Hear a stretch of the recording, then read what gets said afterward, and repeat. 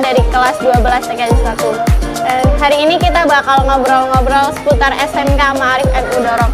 Di SMK ini banyak kegiatan ya. Nah, hari ini saya bersama dengan atlet dari SMK Ma'arif and Udorok. Dia berprestasi di bidang olahraga yaitu badminton. Sebelumnya bisa kenalan dulu Kak. Nama saya Muhammad Jabat Akhtar, panggilan saya Jada. Alamat Jada. saya alamat saya Kaliketeng Kalimojosari Ndoro. Oh, iya jadi Kak panggilannya Kak Zada, nama lengkapnya Kak Zabat Akhtar ya. Iya. Dia dari Kali Keting Kali Mojosari. Oke, Kak Zada eh, merupakan atlet bulu tangkis di Kecamatan Doro ya. Iya. Oke, Kak aku mau tanya gimana sih ketertarikan Kakak awalnya untuk suka badminton ini? Awalnya sih ikut bapak aja ya latihan, jadi suka ikut latihan gitu. Gitu ikut Bapak jadi suka badminton gitu. Iya. Oke, kalau latihannya dari usia berapa Kak? Dari kelas 4 itu sudah berapa itu? Oh, kelas 4 itu sekitar 10 kalau nggak salah sih. Ya 10. Oh, jadi Kak Zabat ini udah latihan dari kelas 4 SD, teman-teman. Oke, Kak gimana? eh, udah ikut turnamen ke mana aja nih, Kak? Banyak ya nggak bisa di. Banyak. Iya. Di nasional? Kemarin di Tangerang, Oh, di Tangerang. Iya. Apa itu, Kak, nama turnamennya? Jaya International Series. Oh, iya, iya, iya. Oke. Kak Zabat ini kalau latihan di rumah apa di gor? Apa gimana? Ada yang di gor, ada yang di rumah. Oh, tapi kalau seringnya di gor ya? Ya seringnya di gor.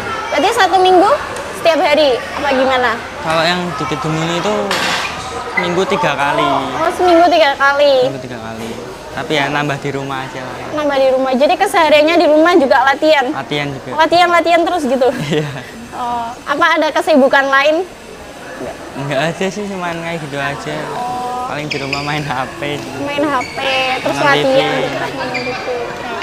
Kak Zabat kemarin ikut Persema di Semarang ya? Iya, Itu juara berapa kak? juara satu. Oh juara satu teman-teman. Gimana sih prosesnya buat mencapai juara satu itu kak? Banyak ya. Banyak. Gimana coba ceritain dong, aku pengen tahu. Ya, waktu final aja itu kan udah set pertama itu udah kalah ya. Tapi coba tenang, Oke. percaya diri gitu. Ya, banyak ya nggak mikir ke sana sana sih, cuman step by step aja, satu-satu. Lakuin yang terbaik aja. Kalau dari Kabupaten Pekalongan mengirimkan berapa atlet kak untuk badminton SMK-nya? Kalau SMK cuman putra, putri nggak nggak apa nggak ngirimin. Oh berarti Eh. Putri ngirimin tapi juara 4 waktu itu kan juara 4 nggak ada, yang juara 1, 2, 3. Oh gitu. Berarti Kak Zabat sendirian ya dari Kabupaten Pekalongan. Iya, Oke teman-teman Kak Zabat ini mewakili dari Kabupaten Pekalongan di SMK Marif Anudoro nih teman-teman.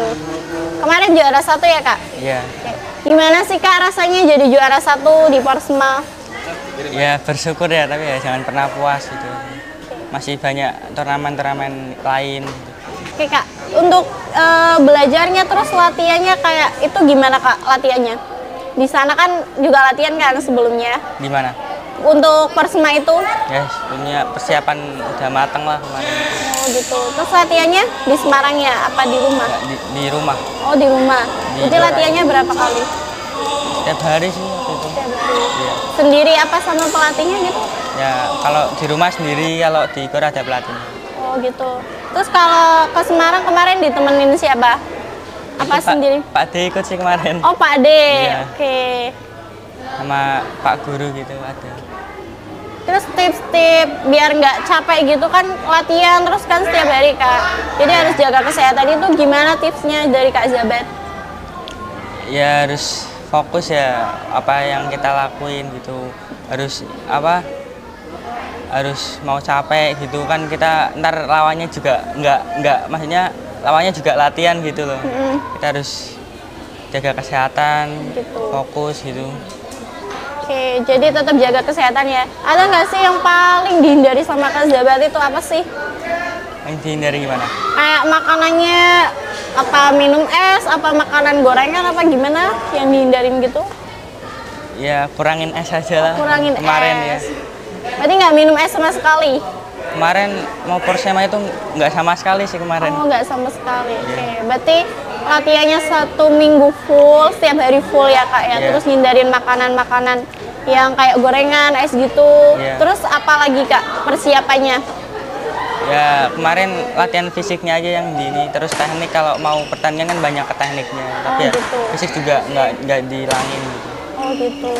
Oke, jadi kalau di Porsma itu ada juara satu, dua, dan tiga ya kak? Iya. Kayak Kak Zabet juara satu dan untuk proses untuk mencapai juara itu gimana kak? Banyak ya, terus minta pertama minta restu dari orang tua, doa Minta restu dari orang tua. minta doa dari orang-orang sekitar, Oh gitu. terus ya latihan tiap hari, jangan Latihan bosen. setiap hari jangan bosen. Kalau bosen gimana kak itu tipnya? Kan kadang Ya. latihannya yang gitu-gitu aja gitu. Yang ngelakuin hal lain yang apa ya sekiranya menghibur gitu apa Kalau di Porsma kemarin tuh sebenarnya ada targetnya nggak sih? Aku harus juara satu kayak gitu. ya kalau dari sekolah sebenarnya nggak terlalu ini sih cuman dari diri sendiri aja pengen juara ya tapi nggak terlalu mikirin ke sana gitu cuman gitu. Step by step aja satu-satu ngelakuin yang terbaik buat sekolah buat kabupaten Oke, jadi eh, kalau di badminton itu suka dukanya apa sih kak? Apa senangnya doang? Apa ada keluh kesahnya yang lain gitu? ya pasti apa pun bedanya pasti ya ada suka dukanya nggak mungkin senang terus nggak mungkin jadi terus pasti ada suka dukanya ya Contohnya gimana kak? yang dukanya mas kanya Eh, dukanya dulu deh. Ya dukanya ya eh, kan kita kadang capek gitu sama nggak capek fisik doang kan kadang Iya. mental harus bangun apa sendiri apa Gitu. ya terus nyemangatin diri sendiri terus em, kadang kan banyak yang apa ya ngeremehin ngerendahin tapi ya kayak gitu buat motivasi aja sih Oh gitu. ya terus Pernah nggak sih temen kak Zabat kayak ngeremehin banget gitu? pernah sih Pernah. pernah Terus Tapi ya? Buat motivasi aja buat ya kalau kayak gitu malah saya ya nambah semangat latihannya lah gitu malah Oh gitu. Bukannya Jadi tuh ini. temennya pasti nyesel tuh. nggak tahu Oke. Terus kalau senengnya kak gimana kak? senangnya ya ketemu banyak teman Ketemu banyak teman. Terus ya terus bisa apa ya senangnya ya bisa banggain nama sekolah oke. nama kabupaten kabupaten gitu ya bag, apa bahagiain orang tua juga lah gitu. Orang walaupun tua. belum seberapa gitu. Tapi pasti orang tua Kak Zabat bangga banget sama Kak Zabat sih. nggak tahu Kak Zabat ini pemalu ya di kamera ya. iya Tapi kalau di lapangan, uh mantap. Oke, eh, aku mau tanya nih Kak, kalau di badminton itu suka dukanya itu gimana sih Kak? suka dukanya itu banyak ya eh, kayak ngorbanin banyak hal kayak Ngorbanin banyak hal. ya kayak kemarin jauh dari orang tua terus harus ya gimana ya walaupun pikiran capek apa masalah dari luar gitu harus tetap fokus latihan harus jalanin tiap hari kan Iya. terus ya juga ada namanya di apa bidang apa pun ya pasti ada persaingan kan Iya. kadang ada yang ngerem apalah tapi ya buat motivasi aja lah orang yang kayak gitu banyak lah yang nggak suka apa ngeremehin ngerendahin gitu Oke. Pernah nggak sih kayak temennya itu kayak sampai ngerendahin Kak Zabat banget, sampai Kak Zabat doang kayak gitu pernah nggak? pernah sih itu orang-orang sekitar juga pernah tapi Oh, ya gitu. buat apa motivasi aja lah gitu Tapi pasti temennya nyesel tau sekarang. nggak tahu Oke, kalau senengnya gimana Kak?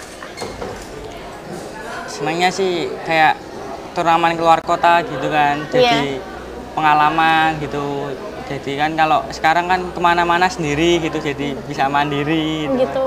Berarti dulu dibuntutin ya? iya dulu dibunutin terus kan kalau di luar kota gitu kan ya kenalan kenalan kan kan jadi Banyak. banyak, teman gitu Oke. terus ya kayak kemarin kayak juara itu kan senangnya kan bisa banggain nama sekolah kabupaten gitu bahagiain orang tua ya walaupun belum berapa ya Gitu. Oke. Jadi teman-teman kita udah ngobrol-ngobrol sama Kak Zabat nih. Oke Kak Zabat ada nggak nggak sih tips buat teman-teman di sana yang mungkin mau mencapai cita-citanya tapi dia masih ragu gitu loh? ya yakin aja ya sama diri kalian kemampuan diri kalian gitu Oke. apa pun bidang kalian jalanin aja gitu yang terbaik Jadi tips dari Kak Zabat itu yakin aja ya Kak, yakin pokoknya. percaya aja gitu. Oke, percaya. sama berdoa lah sama yang Oke, jadi teman-teman kita udah ngobrol-ngobrol sama Kak Zabat. Nah, seru banget ya Kak di Porsema Semarang kemarin. Iya. Nah, buat adik-adik MTS, SMP yang mau daftar di SMK Marif N Udoro, nah PPDB di SMK Marif N Udoro ini udah dibuka teman-teman. Silakan yang mau daftar bisa langsung ke SMK Marif N Udoro. Dan buat teman-teman yang punya saudara, adik, atau sepupu yang mau sekolah di SMK Ma'arif N Udara bisa daftar sekarang juga. Terima kasih untuk hari ini. Semoga sharing-sharing kita hari ini bisa bermanfaat dan menginspirasi buat teman-teman semua. See you next time. Wassalamualaikum warahmatullahi wabarakatuh.